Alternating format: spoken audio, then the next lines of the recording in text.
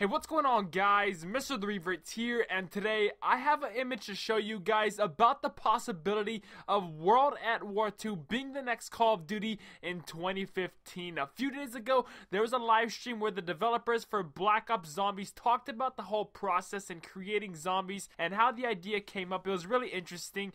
Uh, if I can find this stream, I'll leave a link down below in the description. If you guys are into stuff about game designs and uh, little things like that, I really recommend watching this stream. It, it, was really entertaining. If I can find the link, I'll put it down below in the description. But on the stream, there was a ton of hidden information about the next Call of Duty, and David Vonderhaar did confirm that in one of his tweets that there were multiple clues about the next Call of Duty, and one of those was this image, and it's a timeline of all the Call of Duty games ever made, and it shows the game cases for all those Call of Duties. But if you take a look at the Call of Duty World at War, there is a 2 marked on the game, and when I saw that, I got excited because I was hoping that maybe World at War 2 will be the next Call of Duty. A lot of people do seem to believe that World at War 2 will be the next Call of Duty in 2015.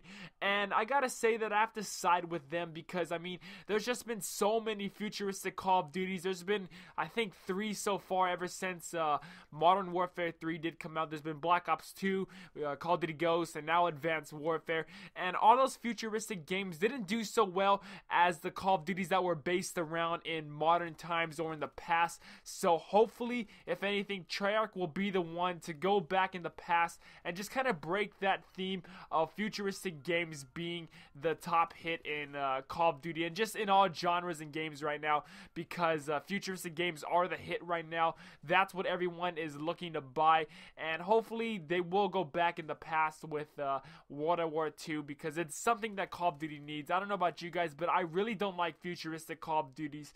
I'd rather much have a modern time game, a modern time Call of Duty, or a uh, or a, or a back in the past Call of Duty.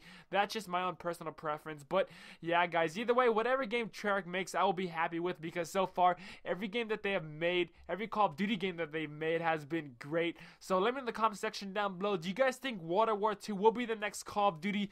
Also, tell me if you guys would prefer Treyarch to make World at War 2, Black Ops 3, or a totally new game. I'll have three comments for each of those in the in the comment section down below. You guys can vote which game you want uh, by clicking the thumbs up icon on the comment.